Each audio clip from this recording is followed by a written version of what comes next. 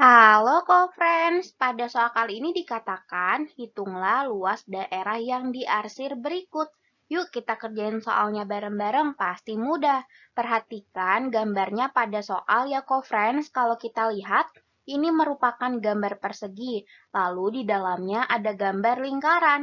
Maka itu artinya apa co-friends? Betul, luas daerah yang diarsir dapat kita peroleh dari luas persegi dikurangi luas lingkaran. Sekarang perhatikan, dari soal kita tahu bahwa jari-jari lingkarannya, kita misalkan sebagai R itu adalah 25 cm. Maka berarti panjang dari sisi perseginya sama dengan 2 kali panjang jari-jari. 2 dikali R atau 2 dikali 25 cm, hasilnya 50 cm. Maka itu artinya panjang sisinya kita misalkan sebagai S adalah 50 cm ya co-friends. Sekarang coba co-friends hitung ya, luas persegi yang diperoleh dari sisi dikali sisi, yaitu 50 dikali dengan 50, hasilnya adalah 2500 cm persegi. Setelah itu, kita akan mencari luas lingkaran. Jika diketahui R-nya atau jari-jarinya, maka rumusnya adalah Pi dikali R dikali R. Dengan nilai Pi-nya 3,14 atau 22 per 7.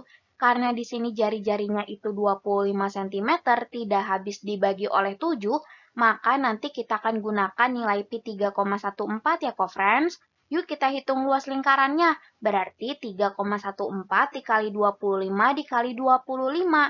Kita akan kalikan urut dari kiri ke kanan ya, co-friends. 3,14 dikali 25 itu hasilnya 78,5. Lalu dikali lagi dengan 25, nanti kita peroleh bahwa luas lingkarannya adalah 1962,5 cm persegi. Kalau begitu, co-friends, luas daerah yang diarsirnya kita hitung ya. Coba co-friends hitung. 2500 cm persegi dikurangi 1962,5 cm persegi itu hasilnya berapa sih?